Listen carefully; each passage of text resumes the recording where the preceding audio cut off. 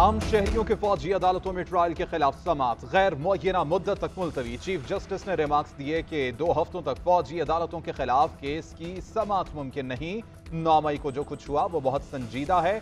कभी नहीं चाहूँगा कि इस मुल्क की फौज अपने शहरियों पर बंदूक उठाए। फौज सरहदों की मुहाफिज मुल्क नाजुक सूरत हाल से गुजर रहा है और ये अदालत भी। हम फौज को पाबंद करेंगे कि वो गैर आइनी इकदाम न करे। मेरे एक साथी जज ने अहम ज़िम्मेदारी निभानी है, वो मैं यहाँ नहीं बताना चाहता। मिलिट्री कोर्ट में सिविलियन का ट्रायल एक मुतवाजी जुडिशल सिस्टम नहीं। जस्टिस मुनिब अख्तर ने कहा कि बुनियादी इंसानी हकूक मुकन्ना की सवाबदीद पर नहीं छोड़े जा सकते। बुनियादी इंसानी हकूक का तस्वुर यह है कि रियासत चाहे भी तो वापस नहीं ले सकती। अटॉर्नी जनरल ने कहा कि फौजी अदालतों का क्याम मेंबर्स ऑफ़ आर्म फोर्सेज और दिफाई मामला के लिए मखसूस है। आम शहरियों का किसी जुर्म में आर्म फोर्सेज से ताल्लुक हो तो मिलिट्री कोर्ट ट्रायल कर सकती है।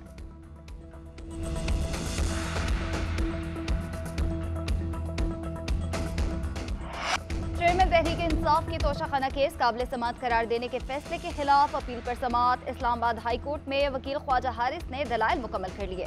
वकील इलेक्शन कमीशन ने दलाइल देते हुए कहा कि एफआईए की रिपोर्ट आ गई। क्या जज को इंसाफ नहीं चाहिए?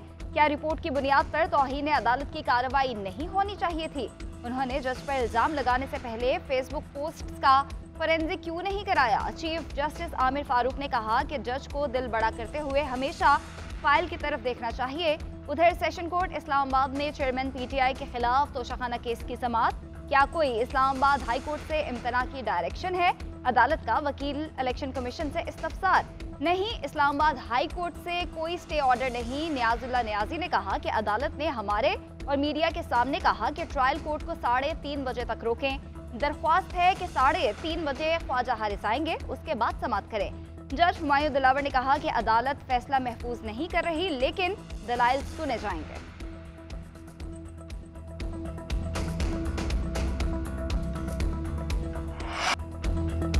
लोग मुझे एस्टेब्लिशमेंट का आदमी होने का ताना देते हैं। मेरी सेहत को ऐसी बातों से कोई फ़र्क नहीं पड़ता। अपनी सियासी ज़िंदगी में बहुत से सिपा सलारों से मुलाकातें की। एक ही मकसद था कि सियासतदान और इदारे मिलकर काम करें।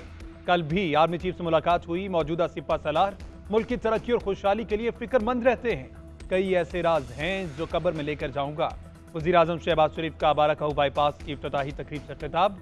मुल्की हालात से मुतल कहा मुश्किल बहुत हैं, अभी मजीद आएँगी। मुल्क और कौमों की खुशहाली के लिए मुश्किल फैसले करना पड़ते हैं। सिर्फ़ फ़िक्र है तो गरीब आदमी की है। नवाज़ शरीफ की हुकूमत को साजिश के तहत हटाया गया। जब नूली की हुकूमत गई तो तमाम तरक्याती काम रोक दिए गए।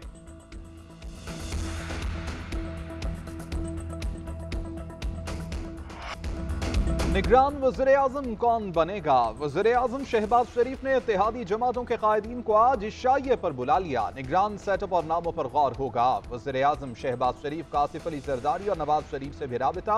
आइन कानून के मुताबिक निगरान वजर अजम की तकरूरी का अमल मुकम्मल करने पर इतफाक पीपल्स पार्टी और सियासी जमातों की क्यादत से जल्द मुलाकात का भी इम्कान। हुक्मरान इतिहाद का पाँच नामों पर गौर। सबक वजर अला बलोचिस्तान, डॉक्टर अब्दुल मालिक बलोच का नाम पेश। सिंध से अब्दुल्ला हारून और पंजाब से नवाब अफ बहावलपुर का नाम तजवीज़।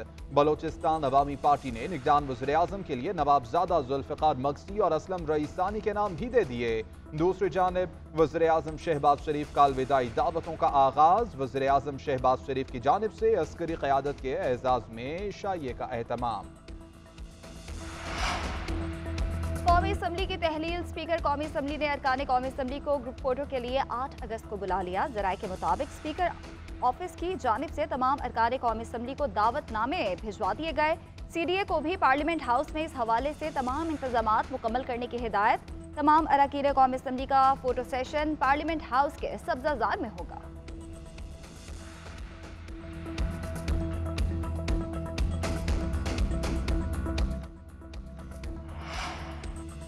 इलेक्शन कमीशन ने आइंदा इंतबात के लिए तेईस सियासी जमातों को इंतबी निशानात अलॉट कर दिए। इसकाम Pakistan party, all Pakistan Muslim league की इंतबी निशान की दरख्वास्त पर फैसला रोक दिया गया। इलेक्शन कमीशन ने इसकाम पाकिस्तान पार्टी को चिड़िया का इंतबी निशान तजवीज़ कर दिया। इसकाम पाकिस्तान पार्टी ने शाहीन का निशान मांगा, जो पहले से ऑल पाकिस्तान मुस्लिम लीग के पास है। ऑल पाकिस्तान मुस्लिम लीग के शाहीन का निशान इंट्रा पार्टी इंतबात के इनका से मशरूत है। और पाकिस्तान मुस्लिम लीग मुस्लिम लीग ने 40 रोज में इंट्रा पार्टी इंतबात कराने की यकीन दहानी करा दी।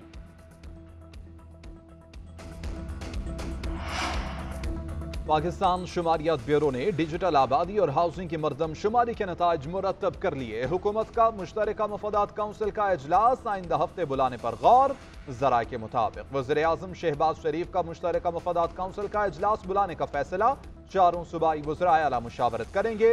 इजलास में नई मरदमशुमारी की मंजूरी दिए जाने का एजेंडा शामिल होने का इम्कान। नई मरदमशुमारी की मंजूरी के बाद आइंदा इंतबात नई हल्का बंदियों पर होंगे।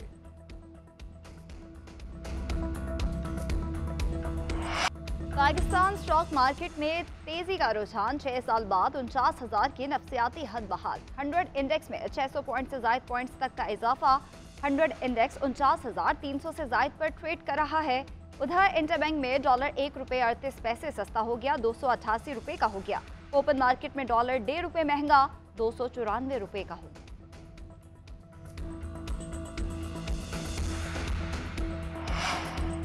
कराची के बिजली सार्फिन के लिए बुरी खबर। बिजली के बिलों पर एक रुपया बावन पैसे सरचार्ज लगाने का फैसला। इजाफी सरचार्ज से कराची के शहरियों पर 24 अरब 50 करोड़ रुपए का बोझ पड़ेगा। बिजली के बिलों पर आयद सरचार्ज सैमाही एडजस्टमेंट की मद में लगाया जा रहा है। विफाकी हुकूमत ने नेपरा में दरख्वास्त जमा करा दी।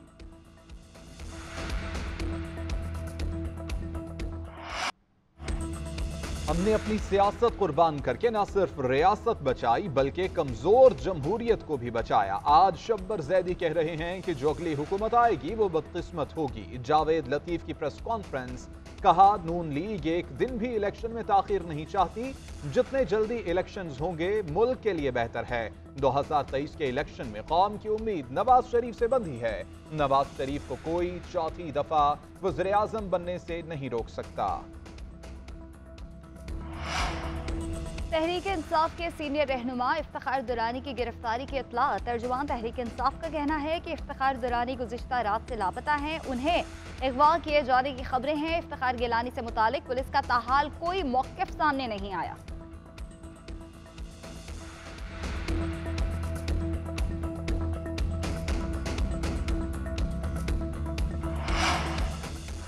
ईरान की वज़ीर खारजा हुसैन अमीर की वजारत खारजा आमद। वज़ीर खारजा बिलावल भुट्टो जरदारी ने मोज़ मेहमान का इस्तकबाल किया। दोनों वजरा खारजा ने वजारत खारजा में पौधा भी लगाया। ईरानी वज़ीर खारजा की स्पीकर, कौमी असम्बली और चेयरमैन सैनेट से भी मुलाकातें शेड्यूल। दोनों मुल्कों के दरमियान वफूद की सतह पर भी मुलाकात होगी।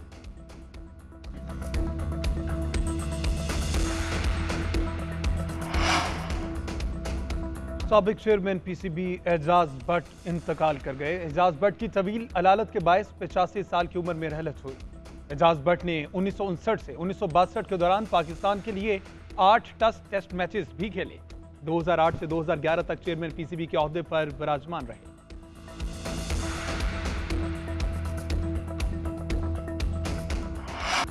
इंग्लैंड में जारी दी हंड्रेड में शाहीन शाह आफरीदी की तबाहकुन बॉलिंग। कौमी स्पीड गन, शाहीन आफरीदी ने पहले ओवर में विकेट लेने की अपनी रिवायत बरकरार रखी। पहली दो गेंदों पर मुसलसल दो विकेटें हासिल करके टीम वेलिश फायर की फतह की बुनियाद डाली।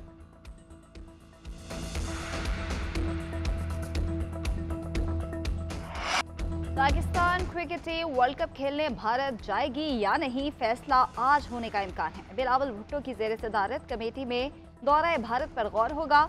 विफाकी वज़ीर बैनसूबाई रबता कमेटी एहसान नजारी का कहना है कि पाकिस्तान क्रिकेट बोर्ड खुद मुख्तार इदारा नहीं, उसे हुकूमत से ही इजाज़त दरकार होती है। पाकिस्तान की टीमें भारत जाकर खेल सकती हैं तो भारतीय क्रिकेट टीम को भी पाकिस्तान आना चाहिए। भारत की दीगर खेलों की टीम्स पाकिस्तान आ रही हैं उधर क्रिकेट बोर्ड ने कौमी टीम के भारत जाना हुकूमती इजाज़त से मशरूत कर रखा है।